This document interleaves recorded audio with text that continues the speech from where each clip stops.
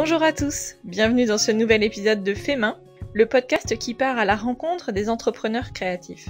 Je m'appelle Mélanie, j'adore créer avec mes dix doigts et je suis heureuse de partager avec vous mes conversations avec des créatrices et des créateurs que vous suivez peut-être comme moi sur Instagram. Qu'ils créent avec du papier, du tissu ou de la laine, avec des crayons, des aiguilles, des pinceaux ou d'autres outils, découvrir leur parcours et les coulisses de leur entreprise créative est un régal d'inspiration. Aujourd'hui, je vous emmène pour un nouvel épisode avec Anne-Claire du compte Instagram Saléandre. Vous l'avez peut-être déjà écouté dans les épisodes 52, 54, 55 ou 56. Ce qui était initialement un épisode fleuve pour suivre Anne-Claire dans l'écriture de son livre s'est transformé en plusieurs petits épisodes que vous avez été très nombreux à écouter en avril et en mai dernier.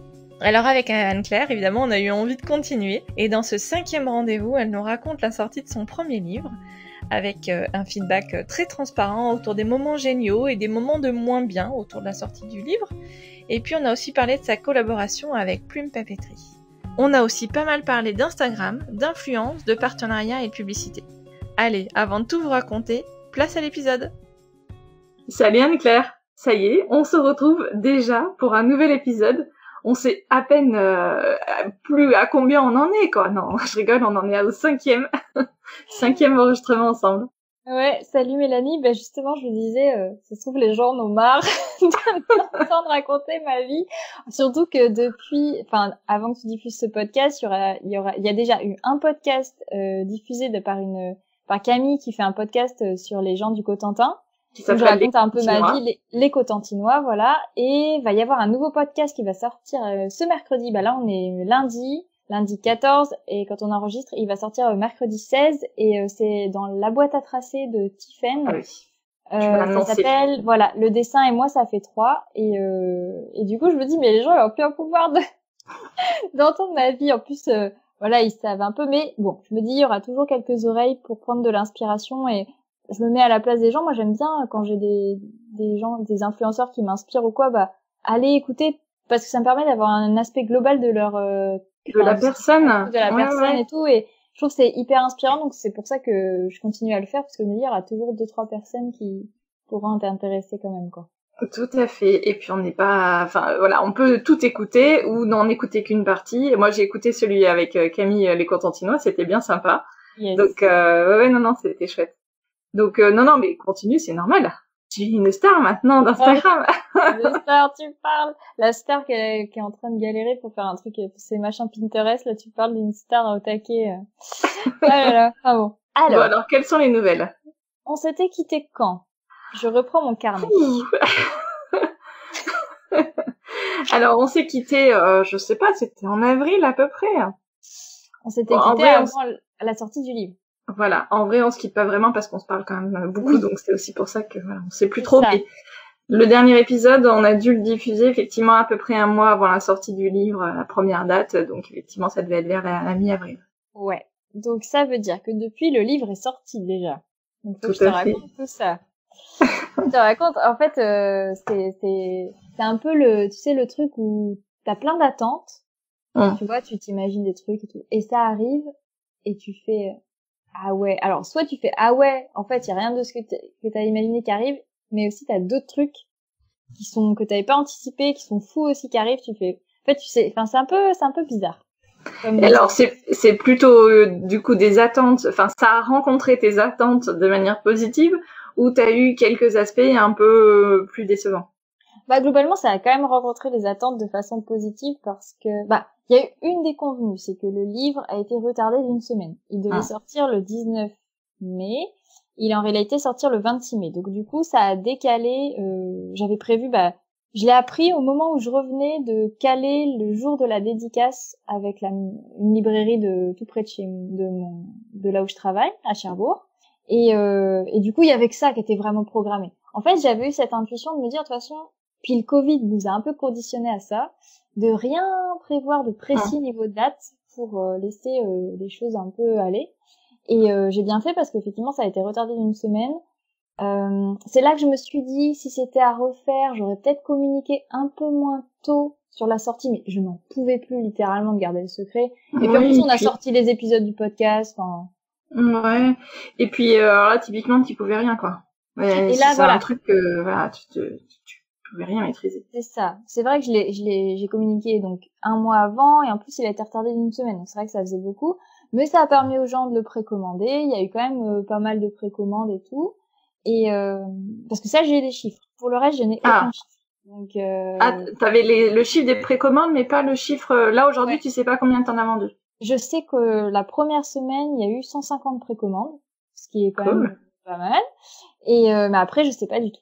Je sais juste là que il est dans les 500, enfin bien classé, dans plutôt dans le dans le deuxième tiers du des 500 premiers euh, de livres pratiques en France. Mais je sais pas comment ça fonctionne ce référencement là. Oui, parce que c'est-à-dire qu'il y a plein plein de sujets, quoi. Voilà. Il y a du jardinage, il y a de la gastronomie, il y a la cuisine, le sport, le machin.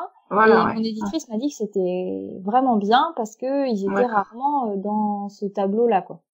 D'accord. Donc elle, elle est contente et effectivement, elle a l'habitude déchue parce que c'est toujours un peu, euh, toi, si je fais le parallèle avec le podcast, tu te dis, euh, bah, j'ai 5000 auditeurs, à la fois tu dis, bah, c'est beaucoup et à la fois tu dis, bah, c'est rien quand tu compares avec d'autres choses. Et évidemment, euh, c'est compliqué de se repérer quoi à travers les chiffres. Bah c'est ça. Après, moi j'avais un repère aussi, c'est qu'il est resté le livre presque deux. En fait, il a été numéro un des ventes Amazon pendant trois jours lors de sa de l'apparition en précommande quand j'ai commencé à communiquer et tout autour de lui. Après, ça, ça a duré donc trois jours. Il y a eu un pic, euh, forcément, s'il y a eu 150 précommandes, voilà. Et après, il est resté deux semaines à partir de sa sortie, presque deux semaines euh, numéro un des ventes peinture aquarelle. Sur Toujours sur Amazon. Donc c'est plutôt euh, c'est plutôt bien aussi. Ouais ouais ouais. Bah, de, de toute façon, euh, ouais, c'est ce que je, c'est ce que je viens de dire. En fait, on, on peut pas vraiment comparer, puis je suis pas sûre qu'il faille vraiment comparer parce que si je refais un parallèle, à, une parenthèse avec mon podcast, il y a un moment donné, euh, ça m'a, euh, comment dire, ça m'a pas mis dans la bonne dynamique en fait de, mm. de comparer mes chiffres avec les chiffres de, de podcasts qui cartonnaient euh, hyper, euh, enfin plus grand public que le mien.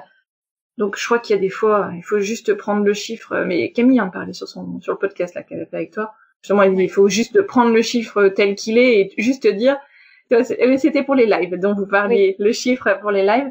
Euh, effectivement, euh, toi, si j'avais 5000 personnes euh, qui venaient dans mon salon pour écouter la conversation ou là qui étaient là en zoom avec nous, ça fait un peu flipper. C'est ça, et c'est des fois je relativise en me disant mais Déjà, hier, par exemple, j'ai fait mon live, euh, j'avais 100, 120 personnes. Et je me disais, oh, euh, des fois, il y a beaucoup plus, enfin, des fois, beaucoup plus, des fois, ça va jusqu'à 200, quoi. Mais après, je relativise, je fais, ça fait combien de classes? Ça fait Comme si j'avais trois classes d'élèves devant moi d'un coup. C'est quand même énorme, tu vois. Ouais. et heureusement d'ailleurs qu'on les voit pas devant nous euh, tous ces gens-là et qu'on n'imagine pas ça quand on, tu vois, là on est en train d'enregistrer. En plus on se voit. D'habitude je mets pas la caméra, mais là on se voit. Donc c'est rigolo. Et en plus voilà, si on avait dit euh, donc euh, 5000 perdus ou 200 ou euh, peu importe le chiffre, qui nous regarderaient comme ça, waouh. c'est clair, non mais c'est clair. Donc donc en fait ouais, faut faut très relativiser. Mais c'est vrai qu'on est habitué à des chiffres, comme il y a des gens qui ont des chiffres T'imagines ceux qui ont un million d'abonnés, enfin, ou même plus, c'est, ça paraît surréaliste. Mais après, c'est la méthode de l'entonnoir. C'est là que tu t'en rends compte. Enfin, pas la méthode. La méthode, c'est au lycée. La méthode de l'entonnoir, c'est le, l'image de le l'entonnoir. Principe, ouais. Le principe. C'est que, bah, tu te rends compte que sur tous ces gens-là, enfin, moi, j'ai bientôt 60 000 abonnés. Bah, je suis très loin d'avoir euh, 60 000 likes par photo ou d'avoir vendu 60 000 livres. En fait, tu rétrécis, tu rétrécis, tu rétrécis, tu rétrécis. Et je m'en suis rendu encore plus compte avec euh, depuis qu'on a sorti la, les marque-pages avec l'entreprise de papeterie, parce qu'il y a ça qui est arrivé aussi, ça c'était trop bien. Et, euh, et en fait, tu te rends compte que bah t'as eu plein de gens qui ont vu les stories, plein de gens qui ont liké, t'as eu tu vois à peu près 4000 likes sur la publication, ce qui est vachement bien. Après, sur ce nombre-là, euh, t'as faut aussi voir le nombre de Français, parce que mmh. du coup, euh, c'est vendu en France. Sur ce nombre-là, on a vu qui avait été dès le premier jour sur le site. Il y avait euh, il y a eu centaines de clics sur le site web. Donc déjà, tu réduis sur 4000, tu réduis à 100. Et sur ces 100, il y en a 20 qui sont allés jusqu'au panier et seulement 3 qui ont validé leur panier. tu vois, c'est vraiment typique. Ting, ting, ting, tu vois. Ah, c'est exactement ça. Tu, tu viens de, de, de, de décrire le, le, tunnel de vente. C'est exactement ah bah. ça.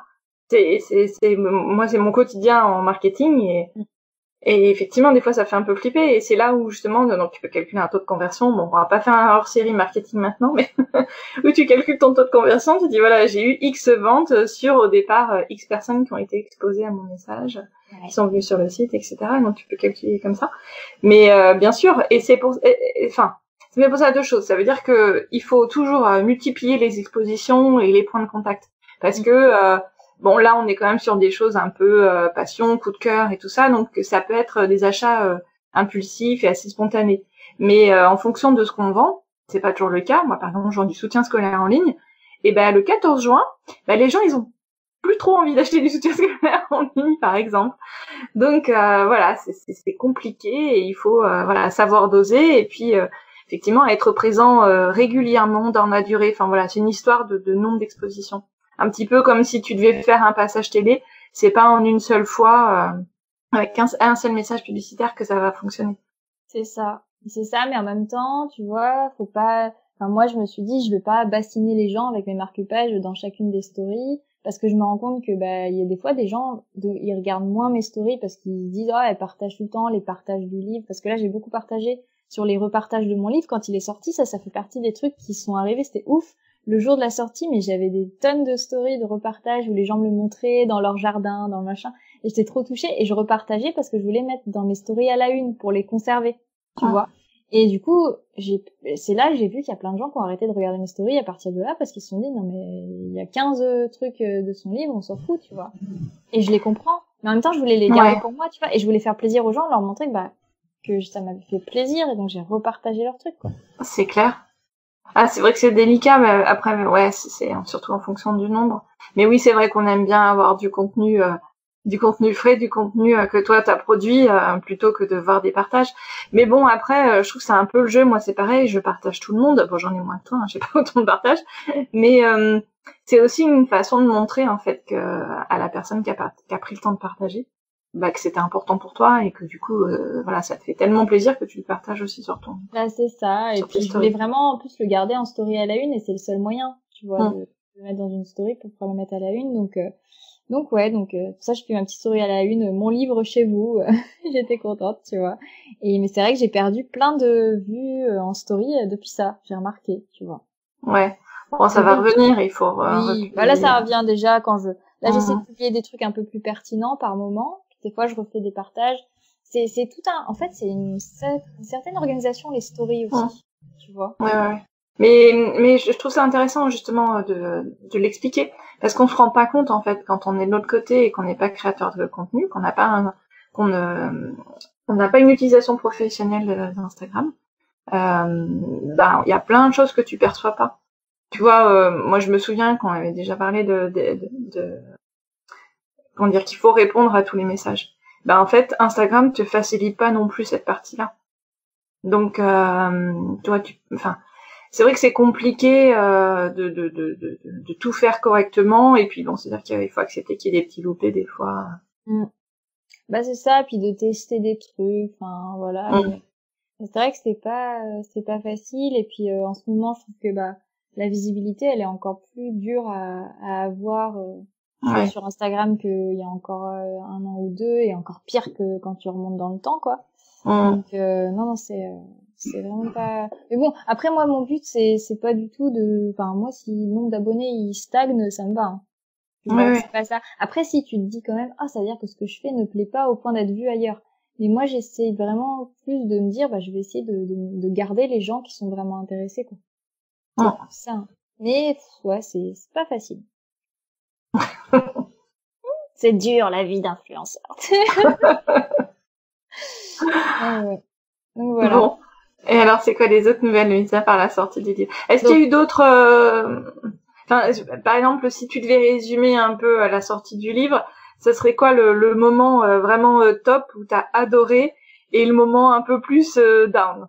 Alors, le moment trop top, euh, donc le jour de la sortie, il y avait plein de partages, c'était trop bien. Je me disais ah les gens sont contents de le recevoir, euh, ils l'apprécient parce que c'était les premiers lecteurs en fait, les mmh. premières personnes. Donc il y avait des bons retours et tout, plein de. J'ai eu pas mal de gens qui j'aurais dit bah si vous voulez. Euh, d'ailleurs j'en profite pour passer le message à tout le monde si vous voulez laisser un avis sur Amazon c'est cool. Et sur la, sur la Fnac, et, Cultura. et les deux, comme a fait Mélanie. et euh, ça, ça aide bien. Euh, ouais, voilà. Mais je pense que ça aide bien. Euh, et j'ai eu des commentaires hyper gentils et vraiment dans le sens de ce que j'avais prévu pour le livre, c'est-à-dire, tu vois, que je voulais que ce soit vraiment accessible pour les débutants et tout ça. Et, et les gens l'ont vraiment ressenti. Ils m'ont dit, ah, en plus, il y a beaucoup d'inspiration dedans. Enfin, il y a beaucoup de d'exemples et tout, c'est bien. Enfin, donc j'étais vraiment contente. Et le, le deuxième truc trop bien, c'est quand j'ai fait la dédicace, ça devait être dix jours après, ou même le, non, trois jours après, je crois, le 29. Euh, j'ai fait une dédicace euh, dans ma ville, donc à la librairie euh, Les Schistes Bleus. Et c'était trop bien. Franchement, euh, j'ai trop aimé parce que, alors, moi, je, enfin, je m'attendais pas à ce qu'il y ait une queue, tu vois. Mais je m'attendais à, je sais pas, c'est peut-être un peu plus de monde, mais d'un autre côté, je m'en suis, ça m'a pas dérangé du tout parce que, enfin, il y a eu quand même du monde, mais, mais, il y a, tu vois, c'est un peu le même le tunnel aussi, hein. C'est un peu les gens disent ah on va venir ou quoi, en fait ils viennent pas, en fait bah, tu vois ça se réduit. Et puis bon à Cherbourg il y a personne quoi. Donc c'était des gens que je connaissais globalement. Il y a quand même deux abonnés qui étaient dans le coin qui sont venus et tout, donc c'était trop cool.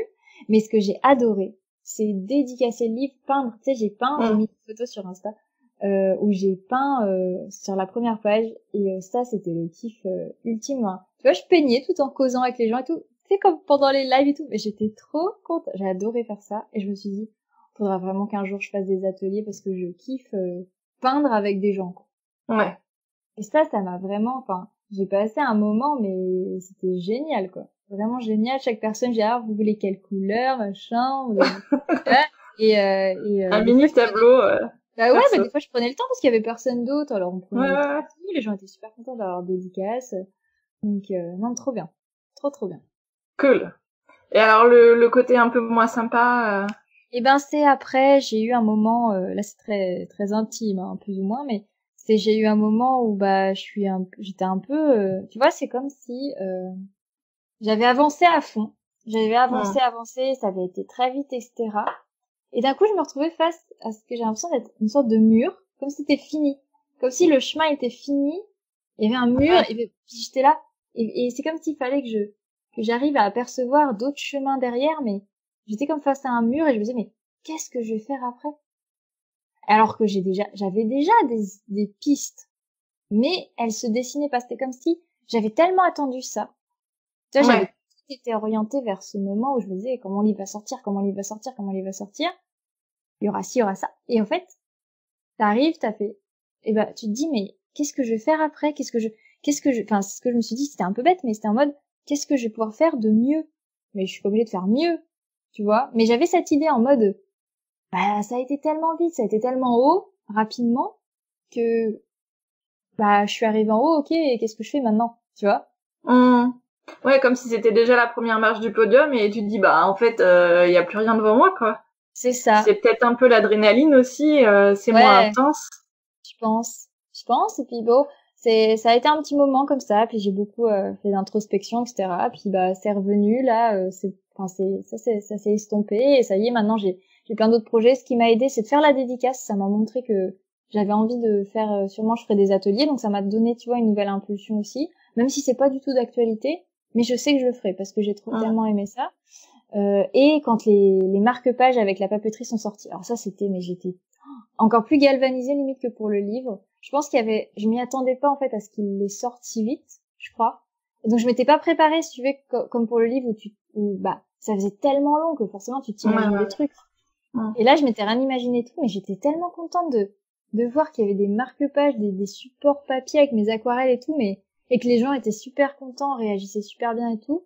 Et ça, c'était trop bien. Et donc je me suis dit, bah en fait, c'est ça. Je vais je vais aller là-dedans. Euh, ça, ça, ça c'est quelque chose où, où j'arrive à j'arrive à visualiser le chemin, quoi. Tu vois, je vais faire des aquarelles qui vont être sur papier, différents supports, parce qu'on a pas mal d'idées euh, Là, il y a des choses qui vont sortir, euh, des cartes, euh, des cartes bonnes vacances, merci maîtresse, tout ça, ça va sortir là dans, dans les prochains jours. Des faire-part, on va faire des carnets. Et en plus, ça c'est le truc trop cool, c'est que tout ça, ça sera non seulement vendu sur leur site, mais aussi dans des boutiques. J'en ai des frissons quand je dis, dans des boutiques que j'adore à Cherbourg. Mes boutiques préférées, tu sais, genre les boutiques où t'as des, des petits, enfin des tas d'objets avec des petits motifs, enfin tu vois, de plein de collections différentes. Là où je trouve par exemple mes petites boîtes pour mettre mes aquarelles ou tu vois, que des trucs mignons, tu vois. les petites boutiques comme ça, il y en a deux à Cherbourg que j'aime beaucoup et elles vont être vendues là-dedans, quoi. Je suis trop contente. Mais ce qui est cool, c'est que toi, ça t'intéressait pas du tout de t'occuper de la partie logistique euh, si tu devais vendre des choses toi-même. Donc là, finalement, toi, t'as, as en gros que la partie sympa, t'as la partie créa, et après, ils débrouillent. mais c'est exactement ça. Et en plus, euh, Julien et Marie, euh, enfin, je le répéterai jamais assez, mais tu vois, toi, t'as écouté le podcast C'est Cotentinois, j'en parlais, où je disais qu'ils étaient géniaux parce que ils ont tout de suite compris ça, et dans le contrat, c'est vraiment marqué Anne-Claire peint au gré de ses envies, quoi. Mais c'est, genre, c'est le truc, mais je suis en mode, bon, après, ça n'empêche qu'on discute un peu, tu vois, là, là, je leur ai donné, tout à l'heure, je suis allée chez eux, là, je leur ai donné quelques, quelques aquarelles euh, avec des couleurs dont on avait parlé pour l'automne qui serait sympa ou quoi. Mais c'était vraiment, à part euh, donner quelques idées de couleurs ou quoi, il y a pas de, il y a pas de, il a pas de pression, quoi. Vous voyez, c'est pas une, c'est pas vraiment une commande, enfin, c'est moi qui crée la collection. En plus, j'ai un peu d'aide, c'est cool parce qu'ils m'aident au niveau des idées. Et après, ils font tout le reste, c'est trop bien. Ouais, c'est clair. Ah non, c'est vraiment euh, le truc euh, trop trop bien. Voilà, donc ça s'appelle Plume Papeterie. Et on peut commander en ligne, évidemment, on n'a pas besoin d'habiter Cherbourg.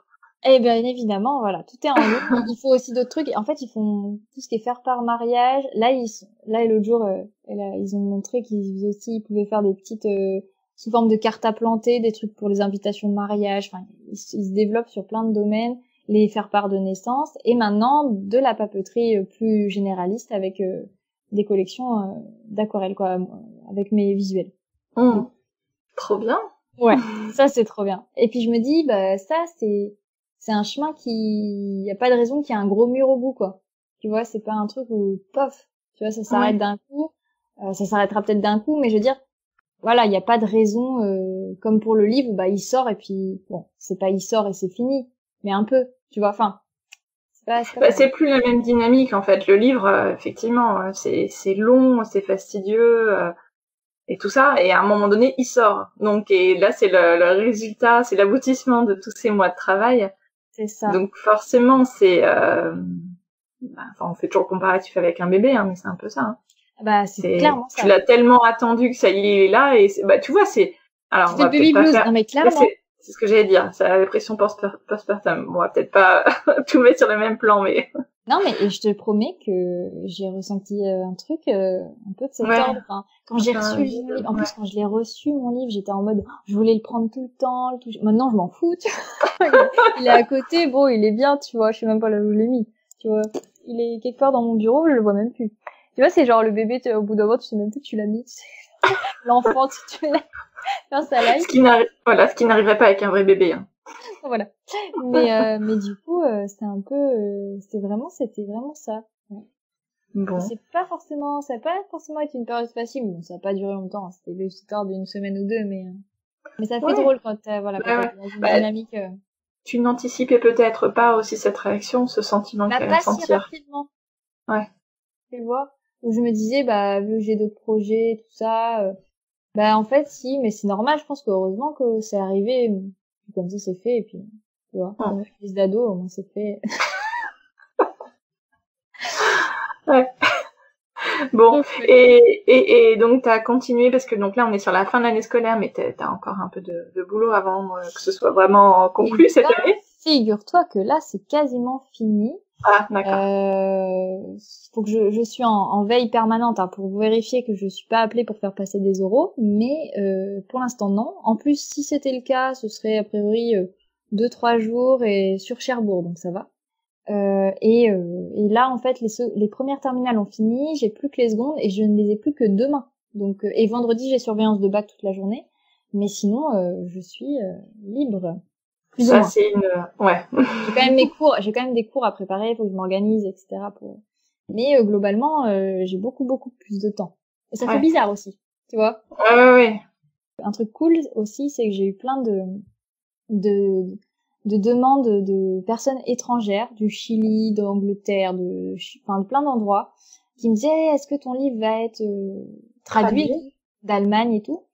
Et, euh, et j'ai dit bah j'espère. Et en fait, euh, Pascal m'expliquait que c'était pas du ressort de Marabout, qu'en fait il y a quelqu'un de chez Marabout qui va diffuser mon livre un peu partout, voilà, et qui va le montrer aux éditeurs étrangers. Euh, étrangers. Et voilà, mais du coup, il y a quand même quelques étrangers qui l'ont acheté quand même, enfin même s'il est en français. Euh, et, euh, et du coup, bah, j'espère qu'il va sortir, qu'il va être réédité à l'étranger. Ah. Donc, au, à minima en langue anglaise. Oui. Pour que, pour qu'ensuite, mais, bah ouais, après, je sais pas si ça se vend. Euh, tu vois, par exemple, en Allemagne, est-ce qu'ils iraient lire un livre en allemand? Typiquement, nous en France, on a la réputation d'avoir un tellement mauvais niveau de d'anglais que bah, c'est ça. Bah, on n'achète pas beaucoup de livres en anglais certainement sur la Corelle. Bah, après moi, si tu vois, je, je vois, moi j'ai acheté les, les des livres de Anna mince, d'Iran Art, tu vois, ou des nanas comme ça, je les ai achetés en anglais, moi ça me dérange pas. Mais euh, mais non, mais en fait, il y en a qui ont finalement acheté mon livre parce que finalement, rien qu'avec les papas dessinés, c'est assez clair, tu vois. Donc euh, ça les a pas, ça les a pas semblé les déranger. Donc, euh, mais bon, ça m'a fait plaisir d'avoir un tel engouement euh, parce que j'ai reçu des dizaines de messages. J'en suis pas à une centaine, mais une bonne cinquantaine, je pense, en tout. Si ah tu vois les commentaires, les messages privés, les machins de personnes, ouais, de plein de pays, et des fois très loin, parce que je sais qu'il y a des des fois quand je fais mes lives, il y en a des fois il, du Chili quand je fais à 18h, ça doit être l'heure où eux ils sont dispo, je sais pas trop et euh, des gens qui parlent en espagnol ou qui parlent qui sont du Mexique, Chili et tout ça. Bon, ouais, c'est cool. Ouais.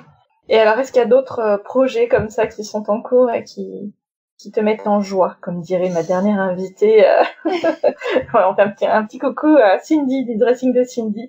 Du coup, maintenant, à chaque fois je, je, je, je, je dis joie, quelque chose joie, et ben je pense à elle. Ah bah faut que j'écoute parce que j'ai pas la ref encore. Ouais. Mais euh, mais du coup, euh, bah il y a plein de trucs, euh, bah enfin tout ce qui est autour de la papeterie parce que tout est à tout est à créer en fait. Tout est tout est à créer et donc des des des carnets. en fait, on va faire des carnets à l'intérieur desquels il y aura des images. C'est-à-dire pas juste le carnet blanc. En fait, c'est très à la mode. Je n'avais pas conscience de ça, mais des carnets qui ont déjà des pages euh, partiellement ou entièrement euh, couvertes d'images ou juste une image comme un intercalaire par moment ou euh, tu sais une image intercalaire quoi ou mhm. même des images éparpillées ou voilà donc ça ça va être trop cool on va créer des planches de stickers aussi bien euh, donc voilà plein de plein de trucs euh, et, euh, et j'ai aussi quelques petits projets là avec avec Mélanie on a négocié on va négocier là pour faire euh, faire des visuels pour une marque euh, de culottes menstruelles, tu vois. Enfin, voilà, je mais je sais pas trop. C'est comme les tatouages l'autre fois, ça n'a pas j'ai aucune nouvelle donc les tatouages éphémères, mais au moins c'est des trucs qui sont lancés et puis bah on verra bien. Euh. Donc avec Mélanie Jante, on agente. Oui, Mélanie Jante, mon agente parce qu'en fait, je maintenant il faut qu'on dise vraiment agente.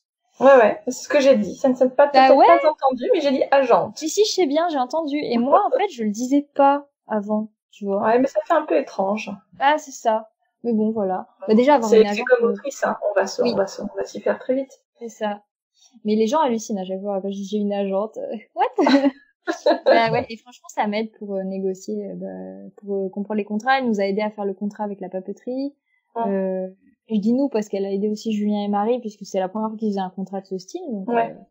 voilà. Donc, pour faire court, ton contrat avec Plume Papeterie, c'est tu tu, touches à un pourcentage sur les ventes? Oui, exactement. Ah, c'est ça. En fait, je, je j'y pensais même pas sur le coup, mais c'est vrai qu'on aurait pu envisager que je leur vende chacun du visuel, mais au final, euh, je pense, enfin moi ça, j'y pense, enfin ça m'a pas paru naturel de faire ça, ça m'a paru plus logique de leur fournir des visuels euh, comme ça, et puis euh, eux ils se chargent du reste quoi, et euh, je touche un pourcentage, et un pourcentage ils ont été super sympas, hein, donc euh, c'est plutôt cool.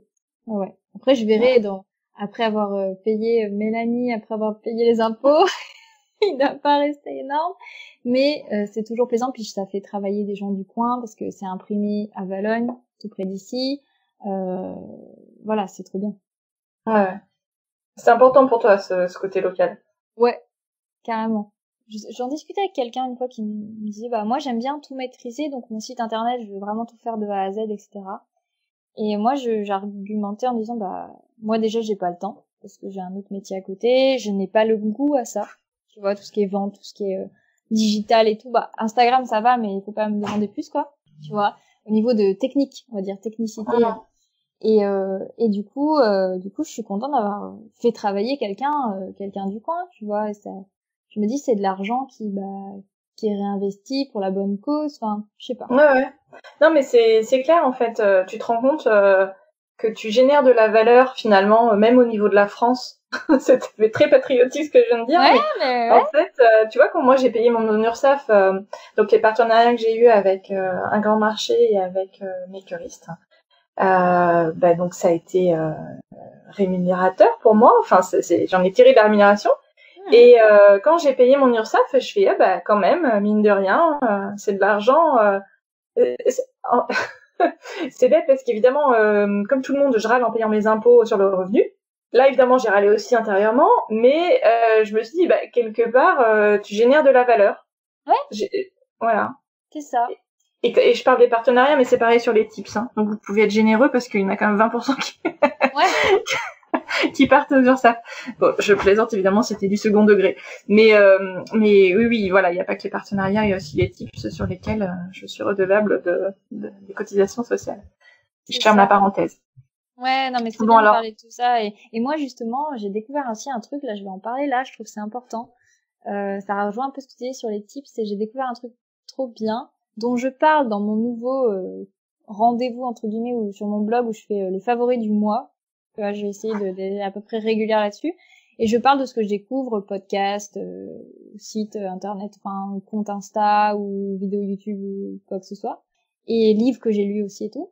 Et euh, dans celui du mois de mai, que vous pouvez retrouver hein, sur mon site internet euh, saintléandre.com, euh, on retrouve, euh, enfin, je parle de du Patreon en fait, Patreon. Enfin, je sais pas, Patreon. Ouais, on va dire en anglais. Ah, c'est c'est comme patron, mais avec un e entre le R et le O. voilà, Patreon. Et en fait, euh, je je j'ai j'ai donné de la, je vais, enfin là, j'ai, je pense que bah ça a été pris en compte pour chaque mois, donc tant que je n'arrête pas le truc, ça va continuer. Euh, donner une certaine somme d'argent à une artiste euh, chaque mois qui en contrepartie euh, nous donne accès à des alors des goodies que je vais recevoir et des des podcasts réservés aux aux adhérents, abonnés, aux abonnés. Ça s'appelle des patrons du coup sur. Oh, D'accord, ok. Et et des des visuels, enfin nous donne accès à par exemple à son carnet croquis, enfin des trucs sympas. Tu te sens un peu privilégiée comme ça et, euh, et je me dis ça la soutient tu vois non seulement je lui achète des trucs sur sa boutique d'ailleurs elle a sorti aujourd'hui c'est Lana Songe euh, Lana Songe et euh, elle a sorti aujourd'hui une nouvelle collection. Faut que j'aille regarder parce que j'aime bien. Mais mais du coup ça la soutient et ça nous donne une, un petit peu un truc privilégié. En plus il y a, on peut aller aller sur un sur un compte pour discuter avec elle. Enfin j'ai pas été encore mais a priori pour discuter avec les autres abonnés aussi un Discord voilà. Ouais. Donc, euh, je trouvais ça chouette et je me suis dit, bah, tu vois, moi, je sais, j'ai, enfin, j'ai des collabs, des trucs comme ça, et du coup, je, je dépense pas beaucoup en matériel, par exemple. Pour euh, chaque mois, maintenant, en aquarelle, bah, il y a Dalb qui m'en fournit, enfin, voilà. Du coup, je me dis, bah, l'argent que j'aurais dépensé dans du matériel, peut-être pas autant, mais une partie, bah, je préfère la reverser à d'autres personnes, euh, des artistes ou des gens qui, qui produisent des contenus et qui ont besoin d'argent pour, pour produire leur contenu, quoi. Ouais, mais c'est clair, c'est super comme démarche. Euh, je dis pas ça que parce que euh, j'en suis moi-même la bénéficiaire, mais c'est vrai que encore, je le je le comprends encore plus justement en étant de l'autre côté, parce que euh, alors j'adore ce que je fais avec le podcast, ça c'est une évidence, et je je crois que je continuerai quoi qu'il arrive, mais euh, de savoir qu'en fait ça vous plaît suffisamment pour que vous me donniez, là je parle de moi, euh, des fois j'ai juste un euro 5 euros, 10 euros, je crois que le plus que j'ai eu c'est 30 euros. Et là même 30 euros limite c'est moi qui suis mal à l'aise en me disant non mais euh, c'est trop. mais voilà 5, 10 euros, je trouve ça mais tellement touchant en fait. Et parce que comment dire, avec tout ce qui existe sur internet, on a l'impression que le contenu c'est gratuit. Mm. En fait non, ça prend un temps fou à produire. Et vous qui prenez du temps pour justement, bah, vous, vous prenez du temps pour créer quelque chose vous savez que ça prend du temps. Et euh, créer un podcast, euh, prendre du temps pour faire des lives comme tu fais, t'en fais comme régulièrement, bah, tout ça c'est du temps que tu n'investis pas dans autre chose. Et euh, pas dans ta famille, ou dans la cuisine, ou dans le ménage, ou dans le ménage, je crois que c'est pas très grave, mais... non mais... voilà, c'est du, temps en fait. Ou dans, ou dans, voilà. Oui, de la lecture, du temps aussi pour créer. Moi, c'est toujours ce qui m'a fait peur aussi. Euh, au début, quand j'avais un blog, je m'étais toujours dit bon, il faudra pas que ça devienne euh, trop chronophage pour que j'ai toujours mon temps en fait pour créer, parce qu'en plus sinon t'as plus la matière pour euh, pour créer, etc. Enfin pour le blog et euh, pour le podcast c'était pareil. Je me suis dit bah je vais me rajouter un truc. Bon je bloguais plus déjà depuis un moment donc mm. j'ai pas dû choisir. Mais ouais tu te dis bah en fait euh, moi c'est c'est quand même souvent le week-end. En semaine j'arrive plus trop à me motiver pour faire le podcast, mais souvent le week-end bah il y a des fois ouais je me dis bon euh, qu'est-ce que je fais? Là j'ai des choses à faire pour le podcast bon en même temps non, j'étais pas suffisamment envie et voilà, je veux pas que ça devienne quelque chose, un fardeau quoi. Je veux le faire quand j'ai envie, mais je sais qu'il y a des fois où je me force un petit peu parce que euh, bah, je me dis bah là ça fait euh, plus d'une semaine que j'ai pas eu d'épisode, j'ai rien dans les prochains jours, etc. Et donc en fait, on se met quoi qu'il arrive quand même une petite pression et c'est voilà. Donc après, euh, moi je sais que je me la suis aussi trop mise, donc maintenant je le fais, j'ai pris vachement de recul. Mais euh, mais bon voilà, c'est pas un travail parce qu'on a choisi de le faire de cette manière-là. Mais c'est clair que euh, c'est tellement important de se sentir euh, soutenu que voilà. Et euh, ça me fait penser moi aussi, je, donc euh, j'achète des choses à mes invités. Enfin, ça m'arrive régulièrement. J'ai pas acheté chez toutes parce que après, faut quand même avoir un budget puis la place, etc. Donc après, c'est comme tout le monde, je fais des choix de, de consommation. Mais euh, mais ouais, c'est important euh, de dire bah j'ai voilà moi aussi je, je soutiens euh, les créateurs et, et en plus les créateurs que j'ai interviewés forcément je suis fan de leur travail quoi. Donc bref voilà. Donc c'est super que tu fasses ça et que t'aies pris parce qu'en plus en France on n'a pas ce, du tout ce réflexe en fait du pourboire. C'est ça. Et, et du soutien financier comme ça. Ouais, on en parlait avec mon mari justement, je lui parlais de cette problématique-là, il me dit ben en France on n'a pas le, le, réflexe du pourboire, c'est ça qui joue. Et moi, tu vois, la réflexion que j'avais, je t'en avais fait part, c'est que euh, comment les gens peuvent avoir l'idée de faire ça alors que même une entreprise, une marque qui va te solliciter pour lui faire de la pub ne va même pas avoir idée de te payer pour ah. le faire. Tu vois, en fait, c'est le même problème à une autre échelle, c'est-à-dire que bah, les, les, les, influenceurs, en fait, sont les nouvelles euh, nouveau panneau publicitaire. Or, euh, bah, écouté l'autre fois un podcast, le, type il a dit ça très clairement. Bah, faudrait que je le, je le mettrais peut-être dans mes favoris du mois de du mois de juin. Je sais plus du tout ce que c'était, mais c'était un, un, un, type qui a basculé. Avant, il était euh, influenceur voyage et tout, et il a basculé euh, euh conseil en, en marketing pour les, les auto-entrepreneurs et tout. Et il expliquait que bah que pour faire une pub, euh, faut embaucher une entreprise de je sais pas comment ça s'appelle qui fait une agence, ouais, une agence de com, une agence de com faut payer l'agence de com, faut payer la création du contenu, euh, voilà, il faut payer les droits de diffusion mmh. et les espaces de diffusion. Un influenceur, t'as les trois en un et, et les mecs ils les payent même pas, ils leur filent juste le produit quoi. Mmh. Et euh, en fait au début, euh, au début t'es content. De toute façon, euh, faut pas cracher dessus. Hein. Moi je veux dire au début quand tu me proposais, enfin d'avoir deux pinceaux gratuits et un bloc de feuilles, mais j'étais aux anges. Mais c'est vrai que maintenant euh, je me rends compte que je ne peux plus accepter ça comme ça parce que euh, j'ai créé une communauté, ça a pris du temps, euh, j'ai eu une petite notoriété dans le, milieu aquarelle, tout ça. Bah, faut pas brader ça non plus, quoi. mais c'est normal d'accepter aussi quand on débute. Faut, faut avoir la juste mesure aussi. Ouais, c'est ça. Il faut pas jeter l'eau du bébé avec le bain. C'est, voilà, c'est, normal au départ. Et, et ça, c'est tellement sympa aussi de recevoir des cadeaux. Ah hein. Ça, c'est évident. Hein. C'est, c'est sûr.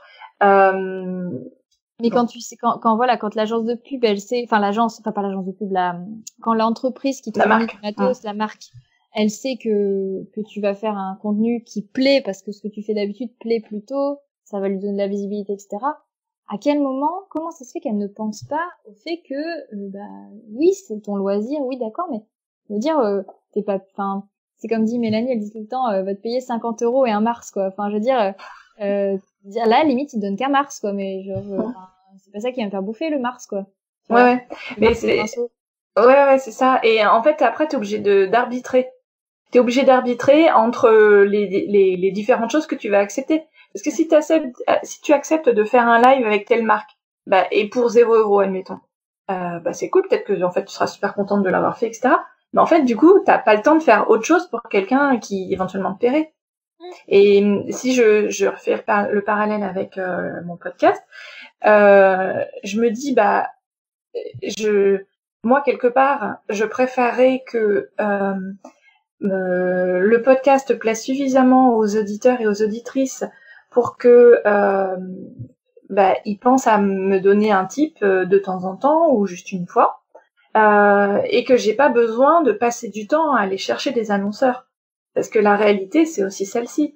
C'est que moi, depuis euh, le mois de fin août, donc ça fait dix mois que j'ai lancé mon compte sur Tipeee, j'ai eu une cinquantaine de types, tips.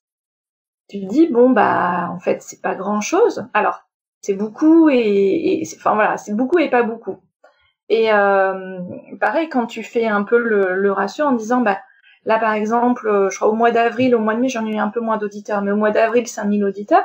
Tu te dis, bah, si, si tout le monde avait donné 1 euro, euh, ça faisait 5000 euros de chiffre d'affaires, bon, moins 20%, machin, de, de, tout ça. Mais euh, en fait, euh, évidemment, c'est pas la bonne logique parce que ça n'arrivera jamais dans la vraie vie, etc. Tu vois, le fameux tunnel de conversion, les 5000 auditeurs ne donneront jamais un euro chacun. Euh, mais nécessairement, force est de constater que euh, la contribution euh, volontaire entre guillemets sur Tipeee, bah, ça fonctionne pas aujourd'hui. Ça, ça peut pas euh, valoriser le temps que je passe. après, il est certain que j'ai mon salaire. Hein, je travaille, à, je suis à temps plein, etc. Donc j'ai mon salaire. J'ai pas besoin de ça pour vivre. Mais c'est quand même important de, de, finalement de valoriser son travail, quoi. En fait, voilà je pourrais avoir envie, euh, peut-être, euh, c'est pas dans mes projets, mais je pourrais me dire, euh, bah, je pourrais passer à mi-temps ou à, enfin peut-être pas mi-temps, mais à 80% de mon de mon emploi salarié et puis consacrer 20% de mon temps au podcast pour le développer. Bah en fait, tant que j'ai pas de revenus, c'est pas décent mais réaliste à associer à cette activité, bah il n'en est pas question quoi. Donc voilà. Et passer du temps à chercher, moi je préférerais carrément euh, ne, ne pouvoir ne compter que sur les tips euh, plutôt que de, de, devoir chercher des partenaires. Alors je suis super contente et puis c'est une autre euh, c'est une autre action, c'est une autre relation avec les partenaires. par exemple avec euh, mes curistes à un grand marché, les filles elles sont super sympas, les fins des équipes elles sont super sympas. Donc c'est, et puis du coup de savoir que tu as réussi à les convaincre avec ton projet, etc. C'est vraiment excellent quoi. Mais voilà, quelque part, je me dis bon bah là, je rentre dans une phase un peu de prospection entre guillemets euh, pour les annonceurs. Donc euh, voilà, si vous écoutez et que vous êtes une marque créative, euh, contactez-moi. Mais voilà, et en, plus, on sait qu'en tant que consommateur, on a, enfin, et, donc d'auditeurs pour le podcast, bah c'est comme un peu pour tous les supports. La pub, on aime moyen ça. Donc même si c'est bien fait, et moi j'essaye de le faire de la manière la mieux possible pour tout le monde, bah on, voilà, des fois ça nous gave un peu la pub. Mm. Donc, euh, enfin voilà, c'est des choses auxquelles il faut penser et il faut que le chemin se fasse et puis petit à petit ça rentrera un peu plus euh, dans les mœurs. Et pour Patreon, ça sera pareil. Ouais. Mais je pense que les gens ouais se rendent pas trop compte parce que c'est vrai la télé, en fait on s'en rend pas compte, on paye la redevance, mais c'est ça passe une fois par an et on se rend pas compte qu'on paye la télé. Tu vois par exemple. Ouais, ça, semble gratuit, mais en fait non. Oui, mais en fait c'est parce qu'on garde la pub. Hein je sais plus quel euh, quel grand je crois que c'était un publicitaire un grand publicitaire qui avait dit euh, en fait euh, les, les, émissions de télé c'est juste du contenu entre deux pages de pub hein. mais ce qu'on nous comment dire ce qui finance la pub c'est puis pas la redevance c'est que pour le le, le, visuel public. Mais ce qui finance le, tout, tout ce qu'on regarde à la télé et pareil pour les séries c'est la publicité. Alors pour les séries bon avec les plateformes de streaming maintenant mm. c'est beaucoup les abonnements. Mm. mais sinon c'est la pub et c'est pareil sur la presse, et c'est pareil, et bah, la presse, il y a un petit, un petit, ticket d'entrée euh, pour acheter le magazine, mais mm. il y a que de la pub qui peut faire fonctionner et euh, financer un, un média, quel qu'il soit. Bah, c'est ça. Je pense que les gens aussi ont l'habitude, tu vois, de donner, par exemple, tu donnes à des œuvres, tu donnes, mm. et c'est exonéré d'impôts. Or là, tu donnes pour donner. Enfin, tu vois. Il n'y a, pas de contrepartie physique. Voilà. Alors dans le don non plus, hein, mais ouais, ouais, je comprends. Alors, dans, dans Patreon, euh, là, le Patreon de, de la Nation, ce que j'ai trouvé cool, c'est que elle disait, bah, là, vous allez recevoir chaque mois un petit truc. Je trouvais ça cool, tu vois, d'avoir un truc qui semble personnalisé. C'est peut-être ça qui m'a fait franchir le pas. Euh, après, c'est vrai que euh, si on se connaissait pas autant ou quoi, je sais pas si j'aurais euh, et je sais et si j'écoutais pas autant ce podcast. Enfin, je sais pas si j'irais donner un autre podcast, par exemple. Tu vois, c'est ouais, non mais je comprends. C'est un peu, on n'est pas encore habitué. Euh, à ça, quoi. Non, mais c'est certain. C'est pour ça qu'au début, euh, bon, pour, euh, pour être très transparente, ça m'a vachement vexée. euh, de, de pas, de voir qu'en fait, il y avait tellement de personnes qui me disaient oh bah c'est trop cool, j'adore ton podcast et tout, mais que pareil que toi, enfin pas pareil que toi, mais euh, tu sais quand tu, quand tu disais bah il y a vraiment ce tunnel et qu'à la fin il y en a plus, il y a pas beaucoup d'élus quoi. bah oui. c'est un peu ça. Et après c'est le jeu, je pense qu'il faut juste l'accepter, mais au départ oui tu te prends une petite claque en disant bah en fait euh, ça devrait mieux fonctionner. Bon bah non, la réalité c'est que c'est non et ouais. bon. Il en faut fait, le- ouais. il faut l'accepter. Et voilà. Et en fait, ça fait relativiser, je trouve aussi euh, sur le nombre d'abonnés sur Instagram, parce que tu te rends compte que c'est pas le nombre d'abonnés qui fait les ventes. Tu peux Mm. avoir euh, comme moi plein d'abonnés et vendre euh, autant voire moins que quelqu'un qui en aurait 1000 quoi. Mm. Tu vois. Et euh, donc ça c'est pour les pour les petits les gens qui veulent se lancer à vendre ou quoi, bah allez-y quel que soit votre nombre d'abonnés parce que finalement ça ça veut pas dire tu vois moi je sais que j'ai beaucoup de gens qui aiment ce que je fais, c'est pas pour autant qu'ils vont acheter, tu vois. Mm. Et enfin après moi c'est pas mon but, c'est plus pour enfin c'est pour ça que je suis contente parce que bah je me dis c'est plus pour plume papeterie que ça compte surtout. Moi je suis contente parce que je me dis bah c'est à dire que les gens ont de l'intérêt dans ce que je fais mais c'est pas comme genre c'est pas ça qui va me faire vivre, tu vois. Et pour les gens qui veulent essayer bah il y a vraiment moyen euh, quel que soit le nombre d'abonnés, c'est pas ça qui fait vos clients quoi. C'est clair, oui, parce qu'il peut. Il y a pas de toujours- proportion quoi. Voilà, ouais, ouais, c'est toujours, euh, c'est un peu comme le, comme le taux d'engagement, quoi. Tu peux euh, Oui. avoir, euh, voilà, 100 000 abonnés et puis finalement t'as une, un taux d'engagement qui est ridicule euh, parce Mm. que bah t'as pas réussi à créer ce lien ou alors euh, tu t'es moins investi, ce qui peut aussi se comprendre. Enfin, Ouais. c'est Ouais, tellement compliqué. Et des fois, ouais, c'est lié à d'autres trucs parce que c'était une nana qui parlait de son taux d'engagement, euh, Jenna René sur euh, Insta, une aquarelliste qui a 200 000 abonnés à peu près. Et elle disait que d'un coup, alors, elle, elle dit que c'est l'algorithme. Après, il y en a qui disent, mais l'algorithme n'y est pour rien. Mais peut-être qu'elle a pas produit les contenus qui étaient à la, en vogue maintenant, je sais pas. Et elle disait que son taux d'engagement était passé de je sais plus quoi à 1% ou même pas 0,1. Enfin, et, euh, et tu te dis bah ouais c'est c'est vraiment puis ça peut pas du jour au lendemain mais presque quoi ouais. c'est euh, Et c'est pour ça qu'il faut investir aussi dans autre part qu'Instagram. Tu vois, le blog que tu as créé, bah forcément, c'est ça. Enfin, c'est pas que c'est l'avenir, mais il y aura forcément quelque chose. Aujourd'hui, ça nous paraît euh, euh, dingue de se dire que Instagram euh, peut être dépassé par autre chose ah si sur, notre euh, voilà sur notre tranche d'âge, etc. Parce que des nouveaux réseaux sociaux, il y en a souvent. Ouais. Mais euh, mais oui, et à un moment donné, Instagram sera remplacé par autre chose dans quelques années. Et, même donc, là, euh, ouais. il faut avoir quelque chose à soi. Et même là je suis en train de bah justement j'écoutais euh, j'en parlais tout à l'heure de Pinterest et je- parce que j'ai écouté un podcast hyper intéressant euh, je- j'en parlerai euh, sur mes réseaux et sur mes favoris mais euh, c'est trop bien sur c'était trop intéressant parce qu'elle expliquait qu'en fait bah Pinterest c'était grâce à Pinterest qu'on avait accès au blog par exemple et c'était l'idéal pour référencer un blog parce que c'est un clair. moteur de recherche en fait Pinterest Mm. c'est pas un, moteur de recherche c'est un visuel. moteur de Ouais. recherche visuel et si on l'envisage comme ça on peut l'exploiter et c'est mais euh, c'est ça va pas renvoyer sur le compte Instagram ça va renvoyer sur des blogs Ouais, tout à tu vois fait. c'est là que je me dis c'est cool que j'ai un blog tu vois Ah bah c'est sûr, oui, oui. Mais vous pouvez écouter l'épisode avec Digitoucan, avec Cécilia, c'était le 35 de mémoire. oui Sur le sujet de Pinterest, justement, elle expliquait bien ça. euh. C'est grâce à ça que j'avais créé un compte pro, bon, qui était foireux parce que c'était pas le- dans le bon sens. Enfin, là, je suis en train de re- revoir tout ça. Mais euh, maintenant que j'ai un blog, c'est vraiment l'idéal. Quand j'avais qu'un compte Instagram, bon, en fait, les gens ne vont pas forcément aller de Pinterest à Instagram. Par contre, ils vont aller euh, plus facilement de Pinterest à un blog. Ouais, c'est sûr. Et pour ça, il faut, euh, il faut, euh, disait voilà, qu'il y a un message bien visible et, et qu'il y ait de la, de la valeur ajoutée, c'est-à-dire euh, donner des conseils ou, tu vois, qu'il y ait quelque chose de- où les gens aient envie de s'intéresser. quoi. Ouais, ouais, bah et en fait, il faut produire de la valeur, quoi. Mm. C'est ça. Voilà. c'est l'enjeu de la production de contenu. Créer des choses un peu différentes, euh, potentiellement qu'on n'a pas encore vues, qu'on n'a pas encore écoutées, euh, et tout, c'est c'est- c'est- c'est tout un challenge. C'est tout un Bon. truc et puis bon. Ouais. Mais ap- après, je me dis, il y a de la place pour tout le monde, on a tous une personnalité et on peut tous Ouais, ouais. notre touche, quoi. Ouais, ouais, c'est sûr, c'est certain. Euh, donc c'est pour ça il peut y avoir des nouveaux podcasts. euh, c'est pas grave. Allez-y, Je suis armée. non, non. Alors, vous pouvez écouter d'autres podcasts, mais vous restez chez moi quand même. Hein, vous, vous Oui. revenez écouter de temps en temps. Bon. À quoi tu vas occuper ton été, Anne-Claire? T'as t'as Euh. d'autres projets comme ça dont tu nous parles pas? Oui, mais c'est un secret. D'accord.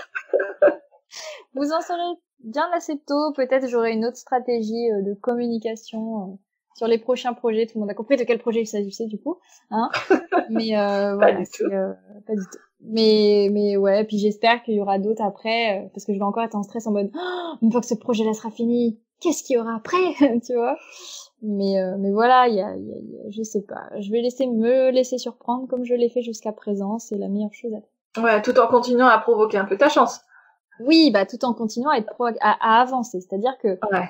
tu vois, en fait, euh, c'était Clotilde Dussoulier dans Change ma vie. J'adore ce podcast. Euh. Et elle, elle expliquait qu'en fait, euh, elle, elle se laissait porter euh, tout en ayant une vision, c'est-à-dire avoir une vision sans forcément dire dans 10 ans, dans 5 ans, mais une vision un peu plus globale de ce que de ce dont tu as envie pour ta suite, donc pour avoir un, une sorte de direction de ton chemin. Mais au final, bah, ton, ton chemin, tu vois pas le bout quand tu t'avances dessus. Tu, tu vois pas tout le chemin. Eh oui, c'est en regardant derrière toi que tu vois le chemin. Ouais. Voilà, et oui, en avançant. Et du coup, je vais me laisser guider par chaque pierre du chemin et, euh, et euh, voir euh, ce que chacune me réserve tout en ayant une vision à peu près globale du truc. Quoi. Bon. C'est beau. c'est beau. C'est très poétique. Bon, donc euh, on va, voilà, encore euh, des beaux projets qui arrivent et puis surtout en te laissant voilà le temps de, de, enfin, faut que tu prennes le temps aussi de savourer un petit peu puis de te reposer un petit peu parce que c'est quand même été un peu intense. Je pense Oui, que déjà on est tous un peu rincés de l'année Ouais. et on a tous besoin de vacances.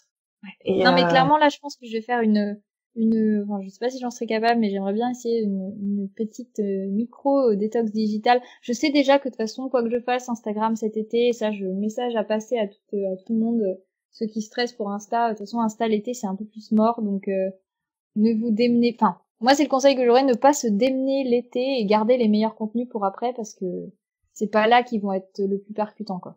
et alors du coup moi avoir la plus d'audience. Voilà. Ouais, alors j'ai envie de dire, eh ben du coup, allez-y, c'est le moment. non, il Ouais. y aura moins de gens qui vont être présents. Ouais, est-ce que tu crois vraiment euh, Bah moi ça me l'a que- ça me l'a fait l'été dernier, j'ai vraiment pourtant je continuais à publier et tout mais je voyais bien il y avait beaucoup moins de d'interactions Ouais. Bon. parce que les gens sont autre chose quoi.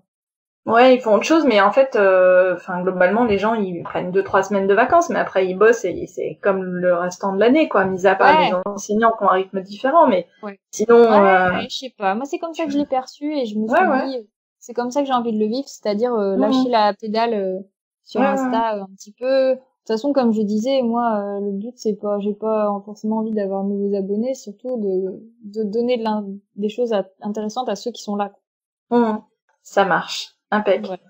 Bon, j'ai envie de dire, c'est pas la fin. On va s'en reparler, Anne-Claire. Bah, franchement, là, je pense que oui. Ce serait cool. Non, mais puis même, euh, moi, j'aime trop, euh, j'aime trop pouvoir bah, donner un peu un retour d'expérience et si ça peut résonner dans quelques personnes. Il y a quelques personnes qui m'ont envoyé des messages hyper touchants en mode, euh, ce que tu dis, ça me parle trop. euh, si ça peut donner des, des idées de, de business, euh, bah là, le fait de, je sais pas s'il y a tant que ça qui, bah, après, j'ai eu la chance de trouver euh, cette entreprise-là, euh, Julien et Marie, la plume papeterie, qui accepte de travailler comme ça, mais c'est un, c'est un modèle qui moi me convient très bien et peut-être ça pourra parler à d'autres le fait de juste créer et puis les autres font euh, une autre entreprise qui en bénéficie aussi euh, fait le reste quoi chacun ça on a tous un talent pour quelque chose bah exploitons à fond notre zone de génie on va dire hein. Et tu sens tu sens la nana qui écoute des podcasts de. Effectivement. La zone de génie et puis bah chacun sa zone de génie et autant exploiter ça quoi Ouais. C'est, c'est, c'est- c'est un bon monde de la fin. Est-ce que je t'ai déjà demandé, ouais, je crois que je te l'ai déjà demandé en quatre épisodes, qu'est-ce que t'emmènerais sur une île déserte? Je crois Bah oui, et, et tu m'avais fait rigoler parce que je t'avais dit que mon fils et mon mari t'avaient dit, oh, t'es la seule à dire. C'est vrai. Donc ouais, non, bah ouais, toujours, euh, toujours bah, des pinceaux, euh, de l'aquarelle. Là, euh, en l'occurrence, il y a une couleur, je ne pensais pas. Je me suis rendu compte à quel point elle me manquait parce que Julien et Marie me les avaient empruntés pour faire des photos, pour les faire part, quelques godets ou quoi. Et, j'avais laissé ma palette sennelier et dedans il y a du turquoise de phthalo et l'indigo sennelier. Et ils m'ont vachement manqué. voilà. et le turquoise, euh, l'indigo sennelier qui est beaucoup plus bleu que l'indigo Daniel Smith par exemple. Petit, voilà. Ça c'est D'accord. hashtag aquarelliste. Et c'était, c'est rigolo parce que tu t'as dit ça comme si c'était euh, ton bébé qui t'avait manqué, tu sais. Ils m'ont Ah. manqué. Non, mais c'était en mode, tu vois, moi, je suis vraiment par phase, et là, je suis en phase où je reviens vers le bleu, et j'étais là, mais le rendu n'est pas du tout, bah, je te montre en, tu vois. Tu vois, j'ai fait une aquarelle, le, le, le dessin est joli, tu vois. Mhm. Mais c'est pas peps, et j'ai compris pourquoi, c'est qu'il n'y a pas mon turquoise mélangé à mon indigo. Voilà. Ouais, moi j'aime bien quand même. Oui, je pense que mais mais c'est moins. J'en ai fait d'autres qui étaient plus, tu vois, plus péchus quoi. Mm. Et voilà, ça manque un peu de. Mais par contre l'image, je vais reprendre le, le le design, tu vois, mais avec des couleurs un peu plus. Et donc ça, ils m'ont vraiment manqué, oui. Oui, oui. ça marche. Bon, on se reparle quand? Ah bah, Quand est-ce que tu auras des euh, choses à nous raconter? Bam, bam, bam, bam, bam. Peut-être, euh, peut-être en septembre, ouais. Ouais, ça aura décanté pas mal de trucs. Je pense. On aura sorti des nouvelles collections papeterie, machin, sera la rentrée. Ouais, ouais, je pense qu'on peut se faire un rendez-vous fin septembre, ça pourrait être cool. Bon, bah nickel. Il faudrait que tu fasses un sondage, parce que faut pas que les gens en aient marre. Mais bon, après, euh, il y aura toujours des gens pour écouter. Moi, je suis curieuse. J'aime bien se connaître la vie des gens. J'aimerais trop que d'autres fassent ce que je fais là. Il y en a une autre qui a commencé là. J'ai écouté le podcast que t'as fait avec euh, celle qui fait. Euh... Elle, la, la Minici. Oui, la Minici, voilà. Et tout. Donc non, c'était cool. Ouais. Bah oui, du coup là, on s'embarque un petit peu dans la même chose avec toi. C'était pas ce qu'on avait prévu initialement, mais euh, comme on a trop envie de continuer, bah du coup on continue. Mais euh, oui, oui, avec Maëlle, euh, voilà, le fait des petits rendez-vous comme ça, pas programmés là, parce que pour le coup on a, on se laisse porter et ah, quand elle aura des choses à nous dire, on enregistrera un, deuxième. Et puis c'est le tout début de son son parcours, donc c'est vachement cool. Je trouve c'est très pertinent parce que beaucoup de gens peuvent se retrouver ou alors mmh. avoir des idées de comment ça se passe parce qu'on a toujours des, le résultat, l'aboutissement, mais le chemin, c'est hyper important et on nous en parle pas assez du chemin. C'est sûr. Oui, oui, parce que c'est, bah, enfin, t'as déjà tout dit. je, je, vais paraphraser, mais c'est clair, on voit que le, que le résultat en fait. Eh et, et, tu vois, c'est ça qui a été génial euh, dans les épisodes euh, autour du livre, c'est que tu vois, si tu avais, si on avait fait un épisode euh, genre le 15 mai, qu'on avait enregistré le 15 mai, tu te serais jamais souvenu de tout ça, euh, tu vois, avec pertinence. Etc. Ouais. Je t'aurais dit les trucs factuels, mais pas les émotions. Quoi. Ouais, ouais, on était vraiment dans le fil des, des émotions et, et c'est ça qui est sympa. Ah ouais, parce que parce que je pense que bah même si on vit pas tous les choses de la même manière, il y a quand même des points où on se rend compte, je pense, dans les doutes, dans les dans les trucs, les grosses joies et les, les déceptions. Enfin, on est quand même dans dans un truc hyper euh, intense, quoi, émotionnellement parlant. Euh. et euh, c'est énorme, donc Ouais. bon bah écoute, merci beaucoup Anne-Claire euh, pour euh, ce, ce, nouvel échange. Euh, donc je te souhaite un bel été, de bien en profiter. Oui. Pour peindre. Oui. profiter de ta famille. Ouais. Et puis euh, bah, on se retrouve à la rentrée alors. Ça marche.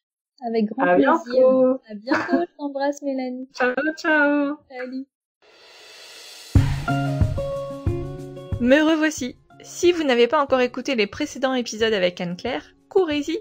Pour suivre Anne-Claire, c'est sur Instagram ou sur son blog avec le même nom, Saléandre. Et si vous aimez l'aquarelle, j'ai plein, plein, plein d'épisodes avec des aquarellistes que vous connaissez sûrement.